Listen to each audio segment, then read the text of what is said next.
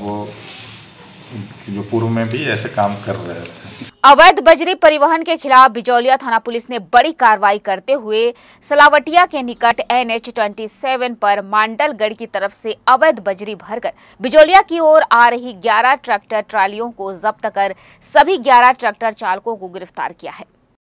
बिहार चिकित्सा एवं जन स्वास्थ्य कर्मचारी संघ के